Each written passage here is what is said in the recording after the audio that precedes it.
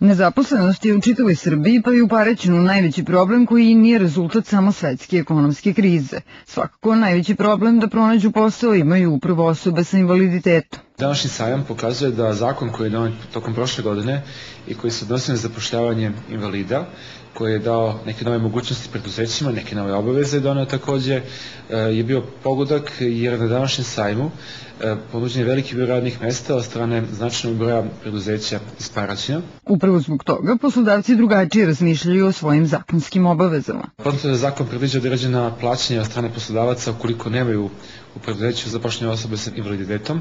i da s druge strane znači, zapošljavanje takve osobe donosi beneficije poslodavcu jer dobija radnika za koje bi inače morao da plaća određene obaveze, ali ne bi imao dakle, taj doprinos radni u svom preduzeću. E, odlično što su poslodavci prepoznali mogućnost da e, na ovaj način stvari reše problem s jedne strane osoba sa invaliditetom koja traže posao, s druge strane da onda prede i rad svojih preduzeća i što je 55 radnih mesta prema informacijama koje su stigla sa sajma ponuđeno danas na ovom prvom sajmu u Pomoravlju. Dobro što je sajam prvo organizovan u Paraćinu i kažem dobro što se poslodavci odazvali, što sve zajedno pokazuje da je ova današnja akcija, današnji sajam bio izuzetno uspešan.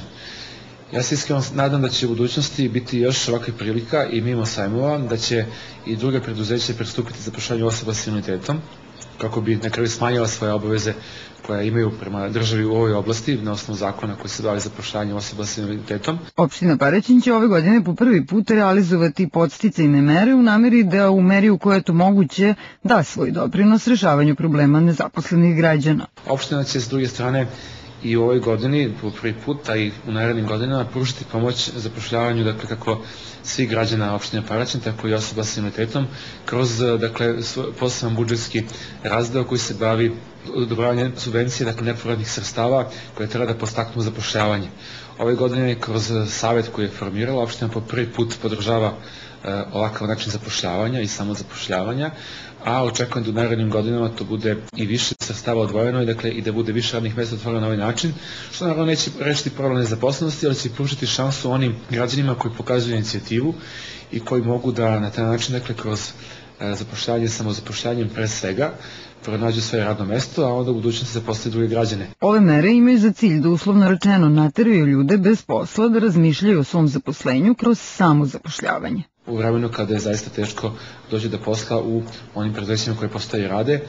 i gde očekujemo da će e, ova kriza u oblasti dakle, zapošljavanja trajati još neko vreme, jer i sa prolaskom ekonomske krize neće istog trenutka doći do uh,